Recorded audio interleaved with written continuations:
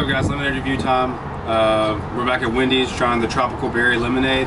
Last time we just tried the original. I want everybody to know real quick that everything that I post uh, during quarantine is just older stuff.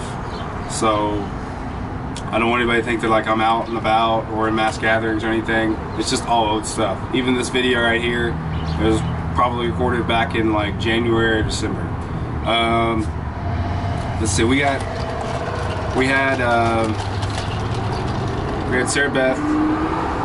She uh, DM'd me about the lemonade. She said this was her favorite lemonade. Uh, she wanted us to try it. She gave it a 10 for 10, and uh, so now I've got high expectations for it.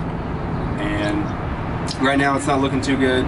It's got a thick layer at the bottom, which isn't good, but um, I still think it's gonna. I still think it's gonna turn out good. So here we go.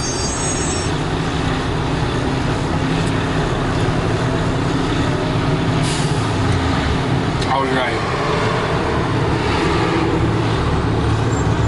It tastes like it tastes like cough medicine. It's just very, very, very, very, very, very, very full of just syrup. So that's very gross. It's gonna get a three out of ten. Not good, but um, I gave it three because it still looks uh, really pretty. Uh, not not not tasty though. Not tasty at all. So um, going to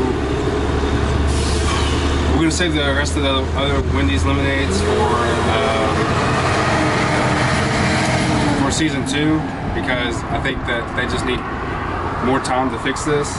Um, I mean, I believe that it is good. I believe that it should be a 10 for 10, but right now it's just syrup.